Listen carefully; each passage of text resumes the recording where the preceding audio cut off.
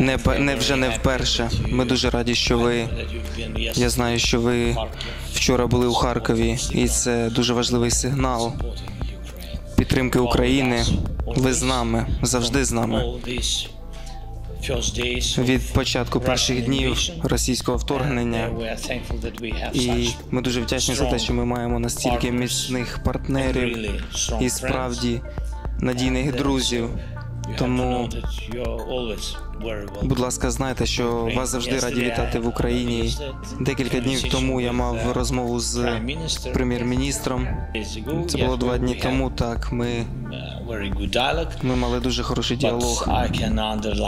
Але я можу підкреслити, що ми завжди маємо дуже змістовний діалог з прем'єр-міністром, і ми дуже вдячні за, за всі ці важливі рішення у дуже важливий час, коли дуже важливо давати сигнали іншим країнам, іншим партнерам, щоб вони також були близько з Україною.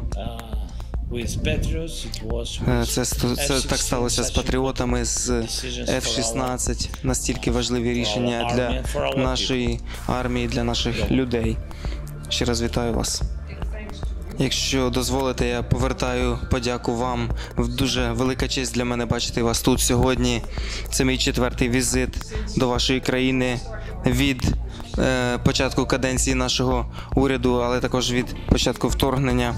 І кожного разу я дуже вражена стійкістю українського народу і також вами особисто.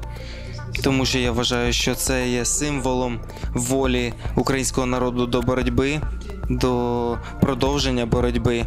І ви маєте нашу повну підтримку. Вона невідклична, незалежно від того, що станеться. Різні речі можуть статися в світі, як зараз ми спостерігаємо за близьким сходом.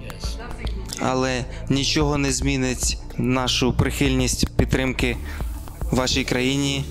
І це те, що я хочу хотіла сказати вам особисто. Я знаю, що Марк Рюте також каже це вам особисто кожного разу, коли ви говорите.